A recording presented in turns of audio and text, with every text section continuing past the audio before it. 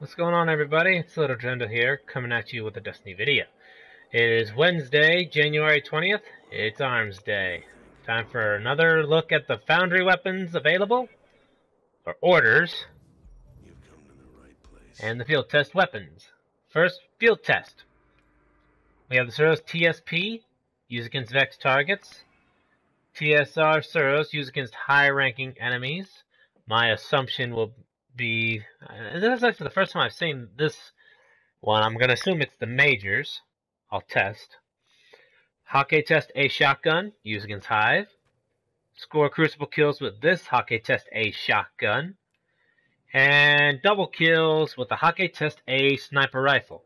So we have Hive, high ranking, and Vex. So Hive you could just go you could just if you want to just go into the Temple of Crota on the moon. For the Vex, just run around either Venus or Mars. High ranking enemies, that sounds like a major use.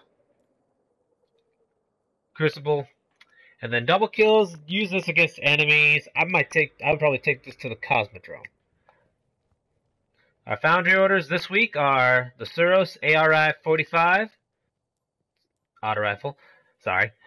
Suros DIS 43 scout rifle the Omolon Ku hand cannon, the Lyudmila pulse rifle, and a strongbow shotgun. Then we have the usual. Alrighty, so that takes care of Arms Day Field Test and Foundry Weapons Edition.